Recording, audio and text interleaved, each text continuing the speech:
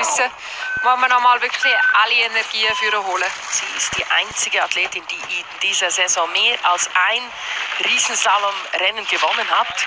Vier sind es insgesamt. Marta Bassino, die Kugelgewinnerin, erstmalige Riesenslalom-Kugelgewinnerin. Als Ausfahrt ein, zwei Rutscher drin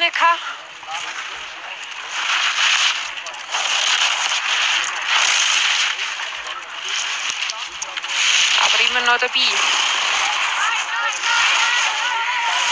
Auch sie sieht natürlich das Spielerische ähnlich wie Katharina Linsberger, wenn sie jetzt auch schon ein bisschen Schläge drin hat oder Piste am einen oder anderen Ort nicht mehr ganz, ganz glatt ist, dass sie dort fein rüberfahren kann.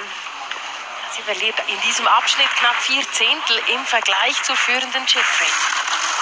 Aber immer noch Position 2. Ja, da hat sie wirklich schön in den Rhythmus reingekommen.